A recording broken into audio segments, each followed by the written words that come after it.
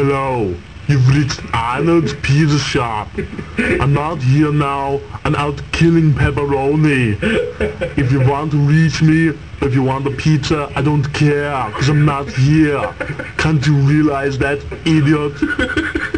But if you need a pizza sometime during the next few days, I can have it delivered to you, or maybe I will stable it to you. I don't care what you want on it. Every pizza comes with pepperoni and with 9mm bullets on it. If you don't like it, I don't care because you'll see one anyhow. The only difference is maybe the 9mm bullets will be in a gun or maybe they'll be on your pizza.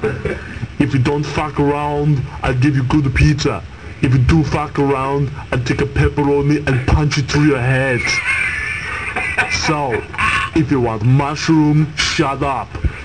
If you want broccoli, what the hell is broccoli anyway? Shut up with the broccoli. If you want something crazy like a pineapple, I'll kill you. If you like pepperoni and bullets, you've come to the right place.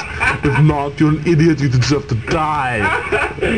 So, leave a name, number, serial number, how tall you are, whether you're susceptible to any diseases, and if you are, I'll come over, maybe I'll give you a pizza, maybe I'll break off your arm.